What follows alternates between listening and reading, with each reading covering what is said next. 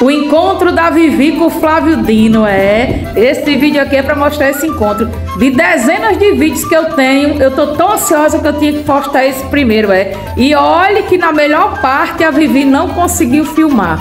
É, eu fiquei tão emocionada que eu tava filmando, eu não sabia que ele vinha falar comigo, né? E eu tava filmando e acabei que desliguei que eu não ia perder aquele abraço, né, gente? Eu não ia deixar de abraçar aquele homem que eu admiro tanto tem um carinho imenso para fazer vídeo numa hora daquela. Mas tinha muita gente lá, as pessoas fizeram foto, fizeram vídeos. Eu tô esperando receber algum vídeo que mostre na hora que ele disse, sabe o quê? Que era fã da Vivi.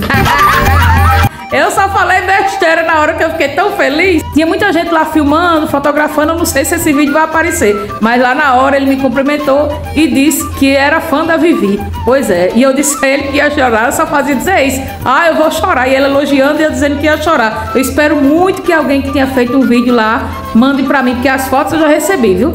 Eu vou depois falar o nome das pessoas aqui que me fizeram chegar até a ele. Desde o prefeito da minha cidade que me convidou para o evento, mas ele não sabia que eu teria esse encontro.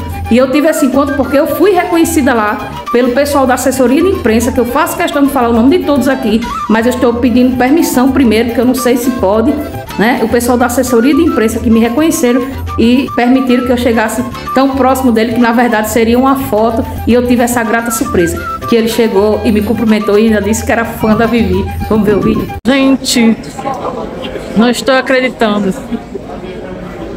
Olha quem tá aqui. Na minha frente. Olha aí, chega meu coração acelerou agora. não acredito.